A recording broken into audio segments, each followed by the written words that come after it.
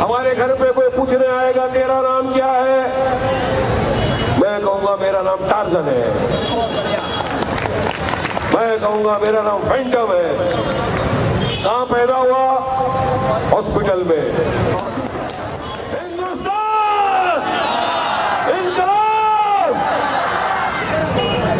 सबसे पहले तो मैं अपनी जानिब से, पूरे देशवासियों की तरफ़ से पूरी दुनिया भर में जहाँ जहाँ से लोगों ने मुझे फ़ोन किया और बोला कि वारिस भाई तरफ़ जा रहे हो जामिया में तो हमारी तरफ़ से जामिया में जो लोग प्रोटेस्ट कर रहे हैं, उनको एक बहुत बड़ा सलाम देना सैल्यूट है सब लोगों को आप।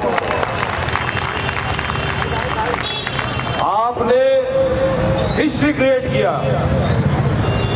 देश, दुनिया, हर इंसान आपको देगा आप वो लोग हैं जिसकी रगों में असल नेशनलिज्म असल सेक्युलरिज्म और असल प्लूरलिज्म दौड़ता है, याद रखो। ये वो लोग हैं। आपके बीच में काफ़ी मेहमान आए। सबने आपको बताया, एनआरसी के बारे में बताया, सीएए के बारे में बताया, एनपीआर के बारे में बताया। इतना बताया कि आपको आप लोगों को मैं समझता हूँ, पूरी की पूरी चीज़ मगप हो गई होगी। बात है कि देश में जो हालात चल रहे हैं आज की तारीख उस हालात से लड़ना होगा। लड़ना होगा, इसी तरह से प्रोटेस्ट करें वायलेंस नहीं प्रोटेस्ट करना। संविधान में आर्टिकल 19 हमको अधिकार देता है कि हम प्रोटेस्ट करें। अगर हमको लगता है कि सरकार कोई गलत चीज़ कर रही है तो ये हमारा अधिकार है, संवैधानिक अधिकार है कि हमको प्रोटेस्ट करना चाहिए। और हम प्रोटेस्ट कर रहे हैं। हम नॉन वायलेंट लोग हैं। क्योंकि वायलेंस तो दिखा चुकी है दिल्ली की पुलिस। तेरह तारीख वो वायलेंट है चौदह पंद्रह तारीख को जो हुआ जामिया में, ये तमाम लोगों ने देखा। मैं समझता नहीं हूँ कि पंद्रह तारीख से कल तक कोई ऐसा दिन गया हुआ हो जब किसी नेशनल टेलीविज़न ने जामिया पर डिबेट न किया हर चैनल में कहीं ना कहीं से जामिया है ही। ये खत्म करेंगे तो भी हम लोग खत्म नहीं होने देंगे, याद रखना। कहीं से भी लाएँगे क्योंकि जो बर्बरता जामिया दिखाई दी तेरह तारीख को पुलिस ने जो बर्बरता और जो वायलेंट एक्ट पंद्रह तारीख को जामिया में पुलिस ने किया, ये बहुत ही शर्मनाक पूरा देश बोलता है। दुनिया भर के अखबार में लिखा कि आप इस तरह से लाइब्रेरी में घुसकर नहीं मार सकते। मस्जिद में घुसकर आप नहीं मार सकते। छात्र है। छात्र अनाम थे, उनके पास कोई हथियार नहीं थे जो आप इस तरह से घुसकर मारे। क्योंकि दो तरह की बात हुई। एक घटना हुई जामिया में, एक घटना हुई जेएनयू। जामिया में पुलिस घुसी। निहत्ते बेगुनाह स्टूडेंटों को मारा, टीयर गैस किया। जेएनयू में कुछ पचास के करीब नकाब पोष गुंडे घुसे, हाथ में डंडा लाठी लेकर घुसे, छात्राओं को मारा, तोड़ फोड़ की, जाते वक्त नारे लगाए। मोदी जिंदाबाद। देश के गद्दारों को गोली मारो सालों को। ऐसे नारे लगाने वालों के साथ दिल्ली पुलिस ने क्या किया? उनको सैल्यूट किया और कहा कि ठीक है, आप लोग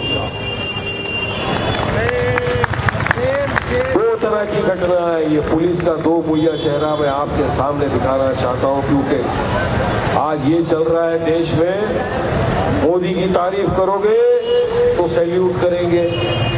मोदी के खिलाफ बोलोगे तो एक मंत्री ने दो दिन पहले ही कहा भाजपा के मैंने उसको नाम दिया है जोकर गुंडा। रघुराज सिंह करके यूपी का।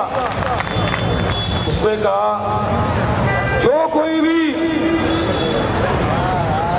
प्रोटेस्ट करेगा एनआरसी एनपीआर सीए के खिलाफ बात करेगा, मोदी के खिलाफ बात करेगा तो उसको हम लोग ज़िंदा दफना देंगे।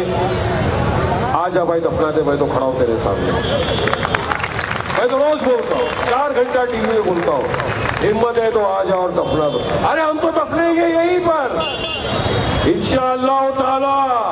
क्योंकि पैदा हुए इसी मिट्टी में और दफनाए भी जाएँगे इसी मिट्टी के अंदर हम लोग। हमारे आवाज़ को कम कर सकोगे, लेकिन हमारे जज्बे को बंद नहीं कर सकोगे, मोदी जी, याद रखना। जज्बा है। जो आज देश का एक एक नागरिक सिर्फ़ मुसलमान नहीं, हमारे हिंदू भाई बहन क्रिश्चियन भाई बहन सरदार भाई बहन दलित भाई बहन हर नागरिक जिसको इस भारत देश से सच्ची, पक्की मोहब्बत है, जो संविधान को मानता है जो डेमोक्रेसी को मानता है और जो चाहता है कि सोल ऑफ़ इंडिया जो सेक्युलरिज्म है वो नष्ट नहीं हो वो खत्म नहीं हो। वो आज रस्ते पे उतरा है और प्रोटेस्ट कर रहा है। याद रखना है हम वो असल देशभक्त है। 1947 में लड़े थे गोरों से। आज 2020 में लड़ रहे हैं चोरों से याद रखें बहुत बढ़िया वारिस भाई। ये लड़ाई खत्म नहीं होना चाहिए। तब लड़े थे आज़ादी मिली। गोरों से आज लड़ेंगे आज़ादी मिलेगी। अमित शाह की फासिस्ट गवर्नमेंट से। उस गवर्नमेंट से जो हम पर एनपीआर एनआरसी, सीए जैसे काले कानून लाकर हमको फिर से लाइनों में खड़ा करना चाहते हैं। अरे भाई, क्यों मैं बताऊँ? मेरे दस्तावेज़ नहीं बताता, चलो क्या करेंगे? मेरे जैसे सैकड़ों लाखों लोग हैं आज भी हिंदुस्तान में, जिन्होंने ऐलान किया है। वारिस भाई, हम हमारे दस्तावेज़ नहीं बताएँगे। हमारे घर पे कोई पूछने आएगा, तेरा नाम क्या है? मैं कहूँगा, मेरा नाम टार्जन है। मैं कहूँगा, मेरा नाम फैंटम है। कहाँ पैदा हुआ? हॉस्पिटल में। नाम मालूम? नहीं मालूम। माँ बाप कहाँ पैदा हुए? नहीं मालूम। क्या करेंगे तुम लोग? क्या हम लाखों लोगों को एक साथ अमित शाह और मोदी गोली मार देंगे? अरे हमको जलती हुई आग में डाल देंगे क्या? डाल के दिखाओ हिम्मत है तो डाल के दिखाओ। चुप रहेगी जबाने खंजर लहू पुकारेगा आस्तीन का याद रखना मोदी जी। खामोशी इख्तियार की सत्तर साल से पीसते रहे सब। मगर अब नहीं। अब इंसाफ और न्याय की आज अगर आप ये चाहोगे कि आप कोई भी कानून ला के डिक्टेटरशिप डिक्टेटरशिप की तरह हिटलर की तरह हम पे थोप दोगे और कहोगे नहीं तुमको मानना पड़ेगा। ये कायदा हमने लाया तो हम नहीं मानेंगे। बहुत बढ़िया। ये जो छात्र यहाँ खड़े हैं ये पीएचडी ग्रेजुएट इंटेलिजेंट लोग हैं। और मैं समझता हूँ अमित शाह और मोदी से तो ज़्यादा ही समझदार लोग हैं बहुत बढ़िया समझदारी है ना अपने में इनके तो डिग्री के वादे, अगर इनको मैं डिग्री पूछूँगा तो इनके पास डिग्री भी नहीं है। हमको पूछोगे तो दिखाएँगे जामिया का छात्र हूँ, देख ले मेरी डिग्री। फ़र्क है ये उनमें और हमको। और आप हमको बोलोगे कि आप नहीं समझ रहे, सीए क्या है? आपको समझ नहीं आ रहा है, एनआरपी क्या है? आप एनपीआर क्या है? सबको समझ में नहीं आ रहा। पहले भी एनपीआर किया था, अरे किया था। पायलट किया था प्रोजेक्ट 2003 से 2009 उसके बाद यूपीए की सरकार में एनपीआर हुआ। उसमें और आज के एनपीआर में ज़मीन आसमान का फ़र्क है, याद रखो इस बात अभी जो ये एनपीआर बताना चाह रहे हैं, ये और एनआरसी एक ही सिक्के के दो पहलू हैं। इसमें डेमोग्राफी भी है बायोमेट्रिक भी है डेमोग्राफी ये है कि आपको बताना है आपके माँ और पिताजी कहाँ पैदा हुए। बायोमेट्रिक आधार के साथ लिंक कर। अरे तो भाई मेरे पास पासपोर्ट है, आधार कार्ड है पैन कार्ड है मोबाइल है, सब कुछ है। तो अगर देश का नागरिक नहीं हूँ क्या मैं? फिर क्यों एनपीआर और एनआरसी ये करके सिर्फ़ एक ही चीज़ बताना चाहते हैं कि यहाँ से हमको स्टेटलेस करने की बात है। लेकिन अब ऐसा नहीं आएगा क्योंकि आज पूरा देश अरे इन्हीं के भाजपा के तेरह में से दस सहयोगी सीए के विरोध में चले गए। बहुत बढ़िया। साठ प्रतिशत लोग तो ऐसा ही विरोध में चले गए। बाकी जो बचे देखिए अलहमदुल्ला सब यहाँ खड़े सब विरोध में ही है। तो मैं पूछना चाहता हूँ सन्माननीय अमित शाह जी से आपने पार्लियामेंट के फ्लोर में खड़े होकर क्या कहा था? 130 करोड़ देश की जनता सीए के समर्थन में है। मेरे पास वीडियो रिकॉर्ड है, मैं तो टीवी पे भी दिखाता हूँ थोड़ी मैं उदी खुदी मीडिया से डरता नहीं, साफ़ बात बोलता हूँ। जाके बोलता हूँ। लोग बोलते हैं, वारिस भाई, भाजपा की है। बोला, मुझे पता है। अगर जाऊँगा, आँख में आँख डाल के इतना बोलूँगा इतना बोलूँगा कि इनके कान हो जाएँगे और कल से हमारी बात करना शुरू करेंगे कभी तो जागेंगे ना, जगाएँगे उनको, जगाएँगे। अगर बोलेंगे जाके बोलूँगा, मेरा आवाज़ कम करो, कम चलेगा। फ्रेम में से हटा दो चलेगा, मगर बैठूँगा सामने इतना प्रेशर करूँगा कि तुम्हारे भाजपा के दलाल तो डरेंगे, मेरे से याद रखना। फ्लोर ऑफ़ द पार्लियामेंट में कहा कि 130 करोड़ जनता समर्थन कर रही है। मैं पूछना चाहता हूँ 60 टका जनता जो है, वो तो अगेंस्ट में है। बाकी की जनता पूरे देश भर में इसका विरोध कर रही है। तो कौन है अमित शाह और मोदी, तुम्हारे साथ बताओ, चलो। अरे, मुझे तो यहाँ तक की जानकारी है कि इन्हीं के साथ वाले लोग भी बोल रहे हैं, दोनों पागल बेवकूफ़ लोग ऐसा कानून आ ऐसा कानून लाया वारिस भाई पता नहीं 303 थे 24 में अगर 103 भी आ जाए तो बहुत बड़ी बात हो जाएगी, हमारे लिए लोग ये हुआ। होगा ना? कब तक? अन्याय जुल्म तो बर्दाश्त नहीं होगा। आपने डिनोमिनेशन कर दिया, नोटबंदी कर दिया, हमारे बुढ़ों को, बुज़ुर्गों को लाइन में खड़ा कर दिया। आज अब एनपीआर सीए के ज़रिए फिर से हम लोगों को लाइन में खड़ा करेंगे। और इतना गंदा कानून है कि अगर इल्यूमिनेटर जो आपके घर आएगा मैं नहीं बोलता है इल्यूमिनेटर लोगों का मैन्यूअल में लिखा हुआ है। वो आपके घर आएगा, आपके दस्तावेज़ मांगेगा, आपने दिया उसको, नहीं दिया उसको, उसका मूड सही नहीं हुआ। घर में बीवी से झगड़ा हो गया अगर उसका तो शाम को बैठिए बोलेगा, नहीं, ये डाउटफुल सिटी है। चलो भाई, वार्ड बारिश पठान को कर दिया डाउटफुल उसके मूड में डिपेंड है।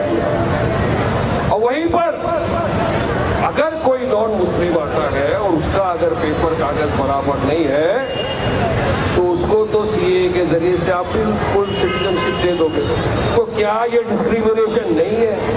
मैं समझता हूँ चौथी क्लास का अगर कोई यहाँ बच्चा बैठा होगा, उसको अगर मैं बुला के समझाऊँगा कि देख बेटा, ये डिस्क्रिमिनेशन है या नहीं है, वो बोलेगा, वारिस अंकल, वाकई में डिस्क्रिमिनेशन है ये। फिर भी ये दो मोदी और अमित शाह खोपड़ियों को समझ में नहीं आ रहा है, क्या मालूम क्या है इनके दिमाग में। दिमाग में गंद बैठा है। गंद है दिमाग में कि किसी भी तरह हमको इस देश से निकाला जाए। मगर नहीं हम वो लोग हैं जिन्होंने जिन्ना की टू नेशन थियरी को ठुकराया। और आज हम हमारे देश भारत में भाई बर्थ और भाई चॉइस में रहते हैं आज इस देश पर जितना अधिकार नरेंद्र मोदी और अमित शाह का है उससे ज़्यादा अधिकार आपका और वारिस पठान का है इस देश पर। याद रखना इस बात को, हमारा मिट्टी, हमारा देश, हमारा वतन है ये।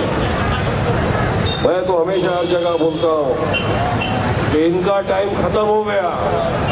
अभी अपना टाइम अभी अपना टाइम आएगा और बहुत जल्दी आएगा।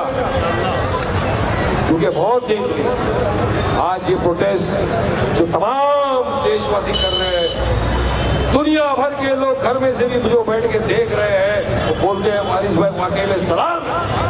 सलाम है इन माँ बहनों को जो रस्ते में उतर के बैठी है रात और दिन, और इस काले कानून के खिलाफ विरोध कर रही है। सलाम है इनको। और याद रखना, जीत उसी की होती है, जिसकी नीयत साफ़ होती है और जिसकी मंजिल आसान हो जाती है।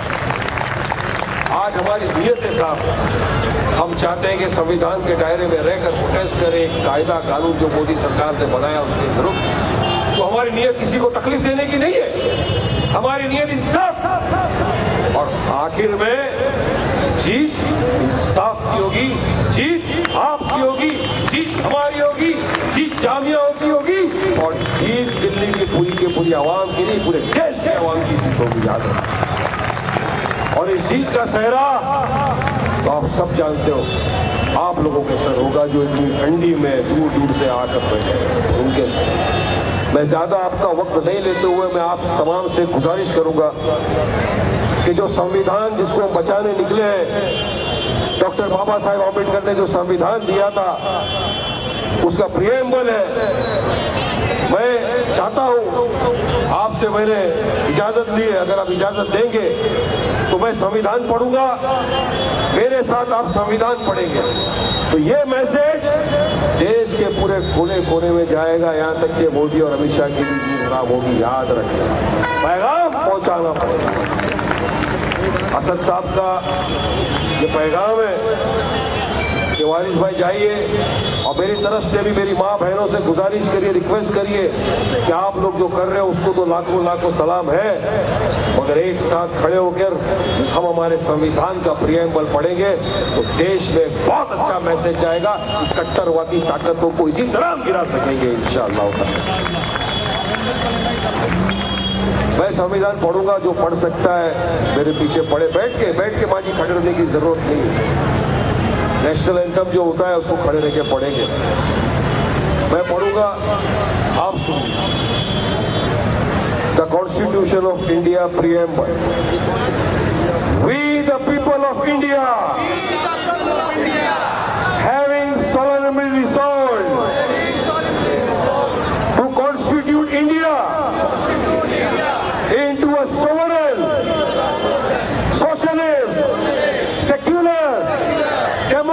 republic.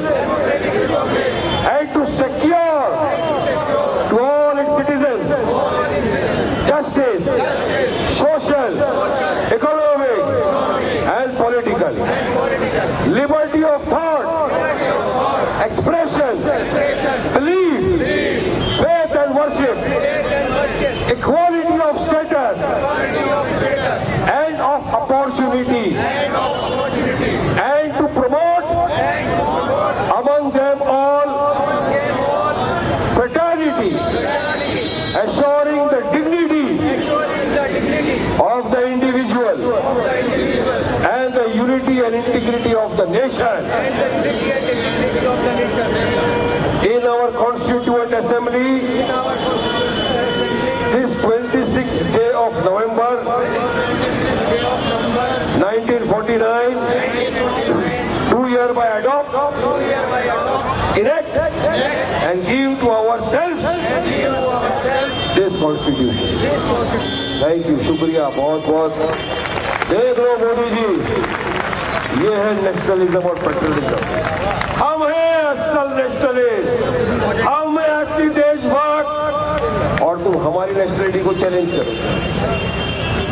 आपका बहुत बहुत शुक्रिया। आपने मुझे यहाँ आने का मौका दिया तो अल्फाज मुझे बोलने की अवसर दिया।